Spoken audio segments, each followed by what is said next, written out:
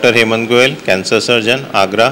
आज अंतर्राष्ट्रीय योगा दिवस पर सभी लोगों को एक संदेश देना चाहता हूँ।